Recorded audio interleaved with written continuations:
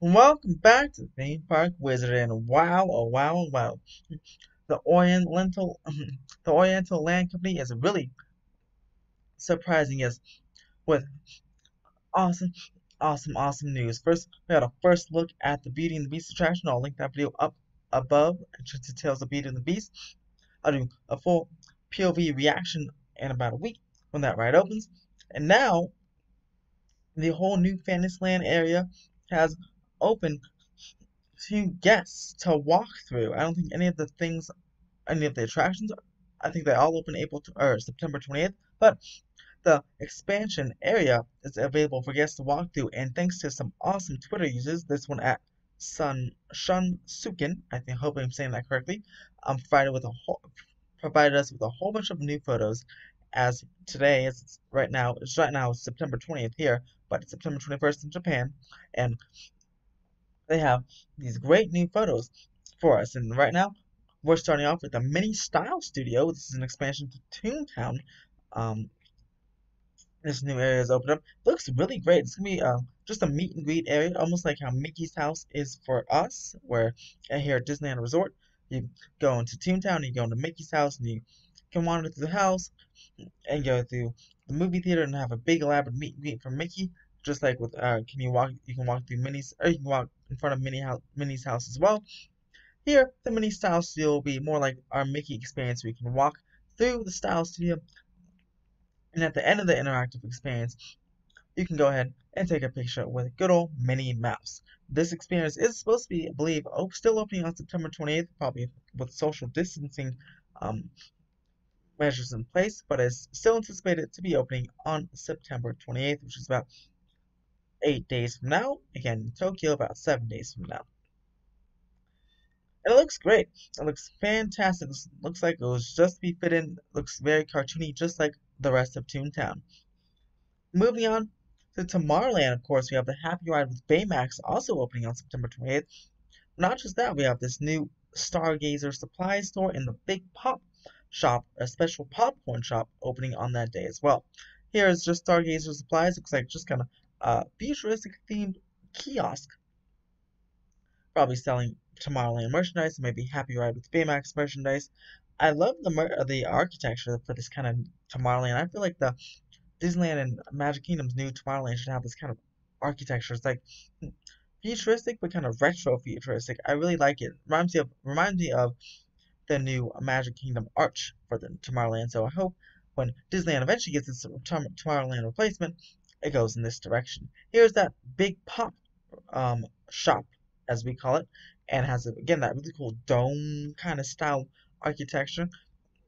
It's a fairly big shop, fairly big popcorn shop. So it'll be interesting to see what kind of specialized popcorn they serve over there. Moving on to the Happy Ride with Baymax.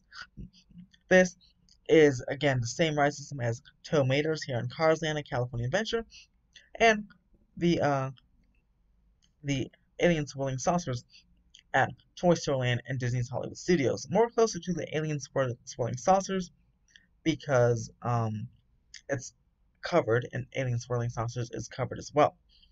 And this actually looks to be like more covered than the alien swirling swirling saucers, in my opinion. But yeah, it's that type of whip flat ride, which is more fun than you would think. It's actually really fun, especially if you lean into the turns and makes it a little bit thrilling even. So, but that'll be nice for the kids and actually the entire family to enjoy it in Tomorrowland while they're waiting for their Fast Pass for Space Mountain and other Tomorrowland attractions at Tokyo Disneyland. Now, moving on to the part everyone's been waiting for, Beauty and the Beast, and Enchanted and the Bells, uh, Belle's Village. So, this area looks like to be a meet and greet. Like, I assume this would be a meet and greet location for Belle and Gaston as you're in kind of in uh, Belle's village here. And look at that architecture. It looks so beautiful. Absolutely gorgeous.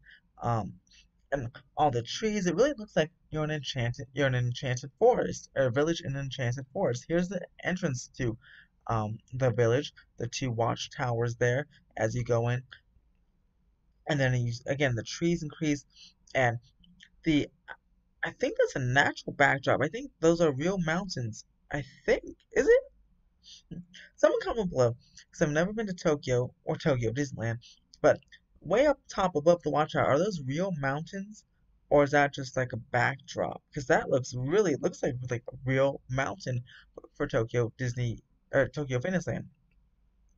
I'm just not sure where Fantasyland is located, if it's located on the perimeter of the park and you can actually see those mountains, or what. Same thing here with those trees.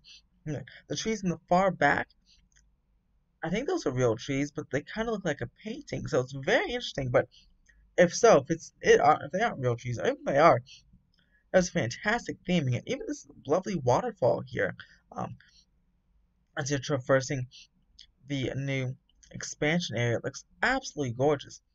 Especially with this next shot. I mean, look at this. This real no, nothing's going on. No real traction. No meet. Maybe a maybe a space for meet and greet. But I mean, just look at those trees. And again, I still can't tell if those are real mountains or like a, like a natural backdrop way behind those trees, or if it's like a a, a themed backdrop. But it just looks beautiful. Um, a really beautiful place to walk. More into the village, we have the Forest Theater, which I assume will host well, a show or two. Um, I'm, I don't think it'll be a restaurant because it says theater, but um, probably have like a show and maybe a meet and greet outside as well. Some nice rustic or foresty themed trash cans there. Uh, they're propped open, of course, due to the COVID 19. Um, you don't obviously want to be touching the trash cans, so they're nicely open. And this guest, this area again is open to guests, but all these attractions are just not open yet. Maybe some of the shops in uh, the village are maybe be open, but the attractions certainly aren't open yet. These credit, these next set of images, or these last few, as you see, are credit to Aoi. I think I'm hope I'm pronouncing that correctly, but yes, those also on Twitter as they are heading into Tokyo Disneyland. And here's Gaston, and what I assume maybe is Gaston's place behind him, and a lovely statue honoring him right in the middle of the village. Looks fantastic. And lastly, what everyone's been waiting for of that castle. This is obviously taken vertically on a cell phone, but there it is. There is Beast's Castle with the fog, and I see a massive extended queue line for the e-ticket attraction that week opening in just just over a week. Or again, in Tokyo right now, it's exactly one week from today. But here in California, at least, even on the East Coast of the United States, it's exactly one week. I'm recording this at 10:26 p.m. September 20th. So here in Los Angeles, it's still about a week and a day away. But I cannot wait to do a ride through of that of that ride I want to can't wait to see it do a trailer reaction or POV reaction of that um ride with you. We can all react together and I might do let me know in the comments below. Do you want me to do I asked this in another video, but I ask this again. Do you want me to do just a ride through and just I'll be me with the zoom. It could be a, a screen share and do like just a reaction video without stopping or should I do a shot by shot breakdown or should I do both like where I can go scene by scene the queue and just kind of pause and get my thoughts and continue the video. It'll be a longer video, but it kind of might break up the um break up the flow of the video. So let me know in the comments below what you want my reaction to the POV to be. Uh, kind of a shot by shot or a just re reacting in real time together. I cannot wait for that in about a week. Subscribe for that, by the way. Um, I'll be doing it probably again. It'll be the 27th here that POVs will come out of the ride there on the 28th. So look for that about nighttime on the 27th. Subscribe for more theme park updates, including potential theme park guidelines from Governor Newsom for California this week. Hopefully, a lot of rumors swirling around. Universal shooting either America's Got Talent or a commercial in my City Walk video, which I'll link up above if you want to see that. That was yesterday. Um, a lot of interesting stuff happening. Um, I'm not entirely sure what what's happening, but hopefully good news. Hopefully good news. And again, let me know what type of trailer or POV reaction you want below for Beauty Enchanted Tales of Beauty, Beauty and the Beast.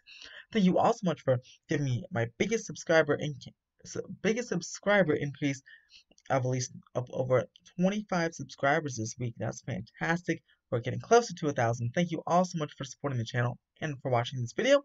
Subscribe for more theme park updates. And as always, have a fantastic day.